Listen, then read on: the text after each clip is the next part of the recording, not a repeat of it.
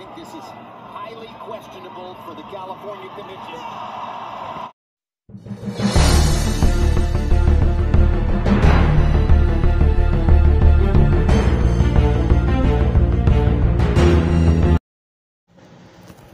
Magandang araw mga kaibigan at welcome back sa aking YouTube channel. Isang ang dating utility man itong si Nodi Nietes sa Ala Boxing Gym. At niyaya lamang ng kanyang kaibigan na sumali sa boxing at ngayon naging world champion pa. Taong 2003, sa edad na 20, nagsimula si Nietes sa kanyang professional boxing career. At noong 2004, na pananalunan ni Nietes ang PBF kontra Joseph Piliasis via first round technical knockout.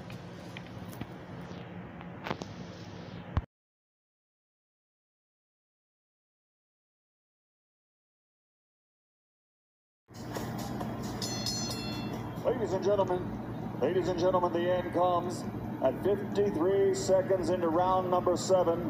The winner by knockout victory and still WBO flyweight champion of the world, Donny Ahas.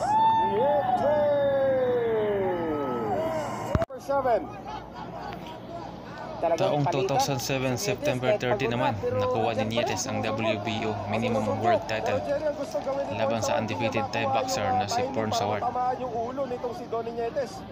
Masyado mailap. Low blow, low blow. Oh, yan na. Yung warning na for low blow from referee Raul Kais. Ang natuwa yung mga tao dito. But it is just a warning.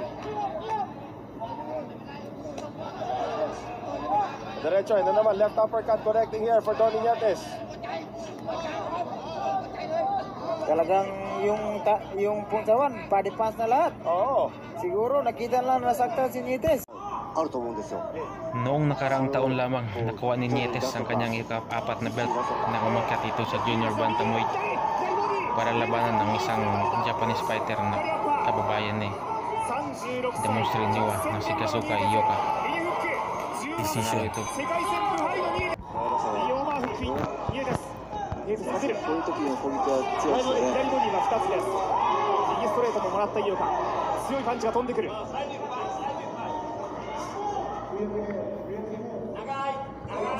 左ジャブ追い込んで左ボディいいですよ左ジャブから左フック2つ右フックボディです Malayo yung nagtapits eh. Talagang katetest ng todo.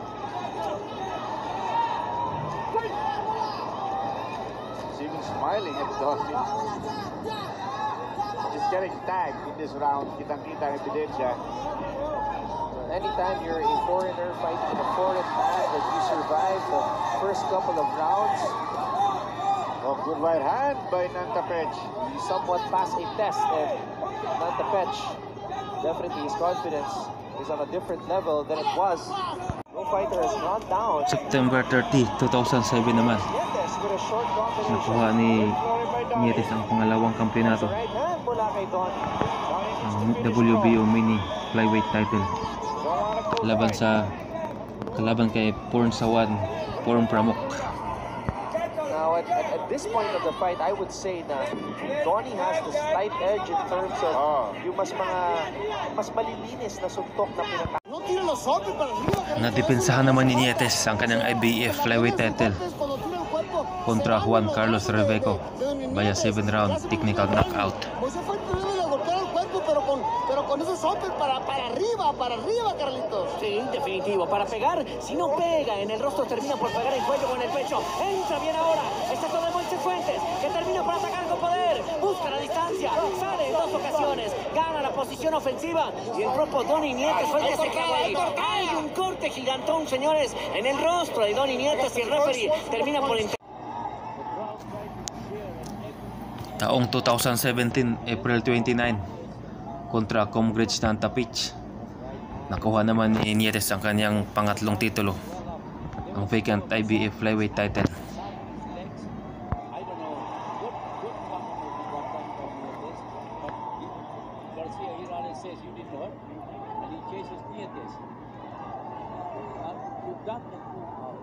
You have to come. That's what he's got to do.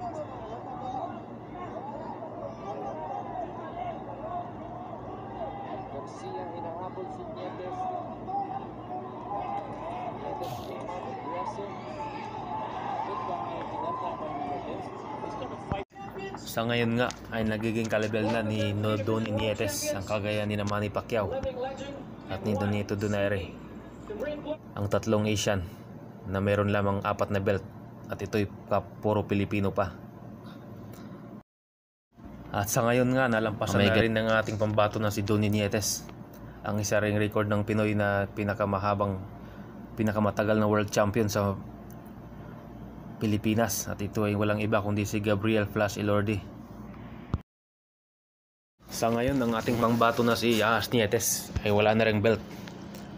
Dahil nung nakarang buwan lamang ang netalo siya na kontra Kasuto Ioka. At sa ngayon nga, wala na ring Pilipinong may hawak ng belt.